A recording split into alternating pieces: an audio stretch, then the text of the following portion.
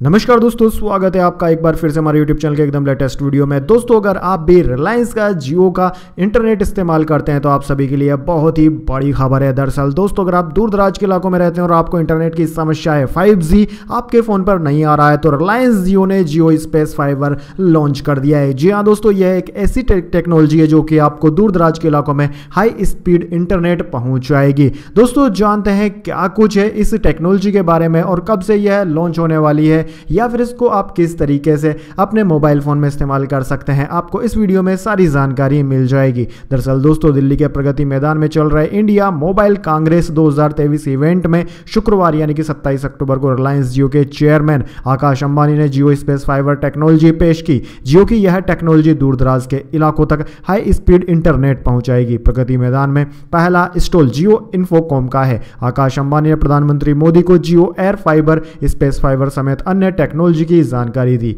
यहाँ जियो भारत डिवाइस को भी डिस्प्ले किया गया है। दोस्तों, इस फ़ोन को भी प्रधानमंत्री ने देखा। जियो स्पेस फाइबर एक satellite based giga fiber technology है, जो उन दुर्गम इलाकों में कनेक्ट करेगा, जहाँ फाइबर केबल से ब्रॉडबैंड कनेक्टिविटी पहुंचाना मुश्किल भरा काम है। दोस्तों, आपकी जानकारी के लिए बता दें, जियो स्पेस फाइबर सर्विस पूरे देश में बेहद किफायती कीमतों पर अवेलेबल कराई जाएगी। कंपनी के अनुसार भारत के चार सबसे दुरुस्त स्थानों को पहले ही जियो स्पेस फाइबर से जोड़ा जा चुका है। इन इलाकों में गिर, गुजरात, कोरबा, छत्तीसगढ़, नबरंगपुर, ओडिशा और जोरहाट, असम शामिल है। दोस्तों, यह टेक्नोलॉजी सैटेलाइट रिसीवर डिस्क के ज़रिए इंटरनेट ट्रांसमिट करने के लिए रेडियो वेव्स का इस्तेमाल करती है, जो एक मोडेम से जुड़ा होता है। यह टेक्नोलॉजी एक जीबी प्रति सेकंड तक की इंटरनेट स्पीड देने में सक्षम है। जियो फाइबर और जियो एयर फाइबर के बाद रिलायंस जियो के कनेक्टिविटी पोर्टफोलियो की यह तीसरी बड़ी टेक्नोलॉजी है। दोस्तों, आपकी जानकारी के लिए बता दें, जियो स्पेस फाइबर से दूर दराज के इलाकों में ब्रॉडबैंड कनेक्टिविटी पहुँचाने के लिए सैटेलाइट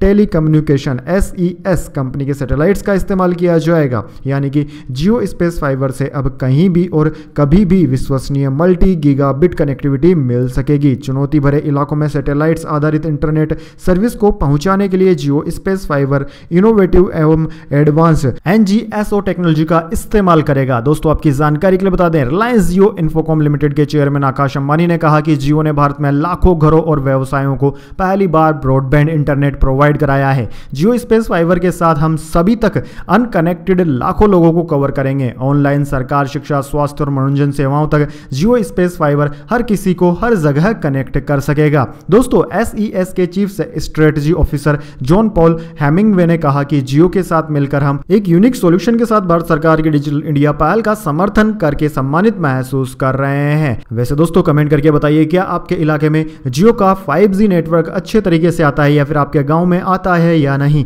अगर नहीं आता है तो यह टेक्नोलॉजी आपके लिए काफ़ी खास होने वाली है। वैसे दोस्तों, अभी तक इस टेक्नोलॉजी को पूरी तरीके से लॉन्च नहीं किया गया है और ना ही इसकी कीमत और रिचार्ज प्लान सामने आए हैं। लेकिन जल्द ही इन सब की जानकारी भी दे दी जाएगी। दोस्तों, इस तरह की काम भी खबरों के लिए आप हमारे यूट्यूब चैनल को सब्सक्राइब करके बेल आइकन दबा लीजिए। यहाँ पर आपको तमाम जानकारियाँ समय समय पर मिलती रहती है। धन्यवाद। वंदे मातरम। जय हिंद। जय भारत।